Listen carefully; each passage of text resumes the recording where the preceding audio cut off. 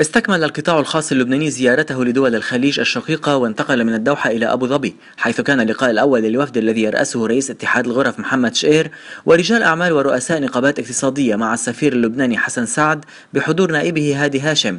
وأكد السفير على ضرورة تركيز القطاع الخاص على المزايا التفاضلية وزيادة القدرة التنافسية لمنتجات لبنان. ثم انتقل الوفد إلى غرفة تجارة وصناعة أبو ظبي حيث عقد لقاء اقتصاديا مع حشد من الفعاليات الاقتصادية في أبو ظبي. تجارة وصناعة أبو ظبي على أتم الاستعداد أن نقدم لهم كل الخدمات اللي يحتاجونها.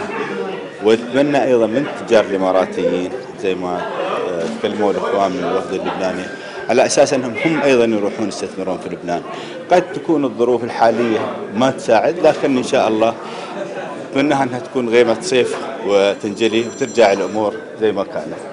نحن العلاقات بين لبنان وبين الإمارات أكثر من قوية.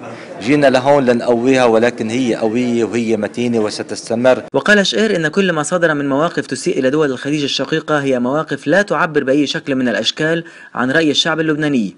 ثم زار الوفد الاقتصادي وزير الثقافة الشيخ نهيان بن مبارك آل نهيان في قصره الذي أبدى دعمه لكل عمل يقوي العلاقات بين البلدين أو أي مشروع من شأنه دعم هذه العلاقة. يذكر أن اللبنانيين العاملين في أبو ظبي عددهم أكثر من سبعين ألف شخص معظمهم من رجال الأعمال والعاملين في مجال التجارة وهم ساهموا بفعالية بنجاح قطاع الأعمال في أبو ظبي. زيارات مهمة ومبادرات كانت مطلوبة من السياسيين اللبنانيين إلا أنها أتت من القطاع الخاص اللبناني المقيم بقيادة غرفة بيروت وجبل لبنان والمغترب بقيادة السفارة اللبنانية في الإمارات ومجلس العمل اللبناني في أبو ظبي.